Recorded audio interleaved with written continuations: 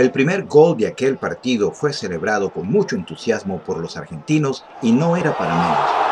Era los cuartos de final del Mundial de Fútbol en México el 22 de junio de 1986 y el rival era Inglaterra.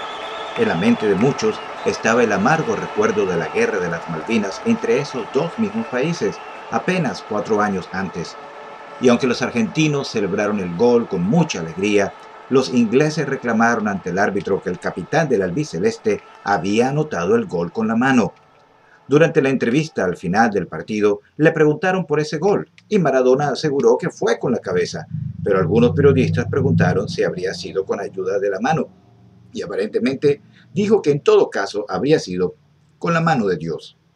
Maradona negó haber dicho eso, pero años después admitió que no fue la mano de Dios, sino la suya propia la que empujó el balón al arco inglés.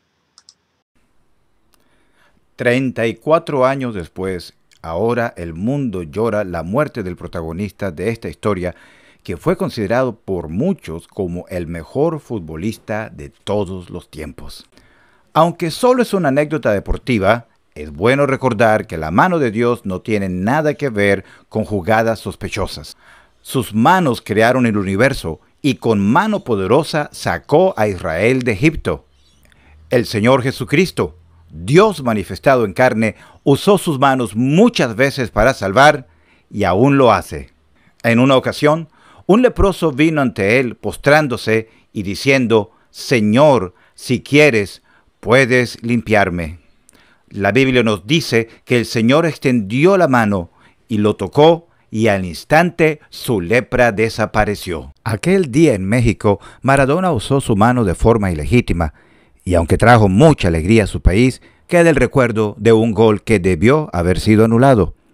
Claro que después, en el mismo partido, anotó uno de los goles más famosos de la historia, pero eso no cambia el recuerdo de lo controvertido de aquella otra jugada de forma muy diferente. El Señor extendiendo su mano para tocar al leproso y sanarlo, no solo nos muestra un verdadero milagro, sino que además nos ilustra el poder de la mano del Señor para salvar pecadores como nosotros. Y es que, aunque algunos nos han recordado los muchos pecados de la vida de Maradona, el que esté sin pecado sea el primero en arrojar la piedra. Y no digo esto por justificar la vida de ese deportista, sino para recordarnos que todos somos pecadores, no solo por lo que hacemos, sino porque nacimos así con la semilla del pecado. Y el pecado nos separa de la presencia de Dios hoy y nos separará de Él por toda la eternidad si no vamos a Él como lo hizo el leproso aquel día. El leproso se postró delante del Señor, reconociendo lo indigno que era Él y lo grande que el Señor es.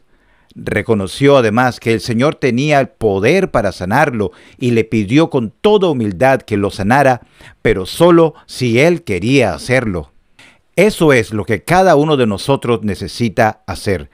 Tener un día específico en la vida en el cual vamos a Cristo reconociendo la seriedad de nuestro pecado, sabiendo que somos indignos de estar en su presencia y clamando con humildad por salvación.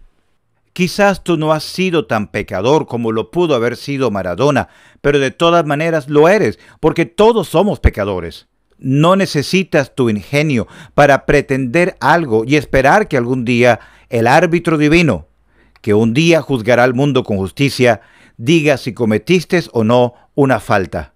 Si mueres en tu condición sin Cristo, estarás perdido por toda la eternidad.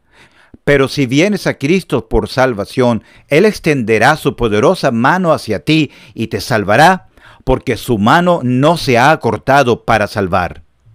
El llamado gol de la mano de Dios y el resultado final de aquel partido dieron mucha alegría a Argentina, quien además se coronó campeón del mundo en ese torneo.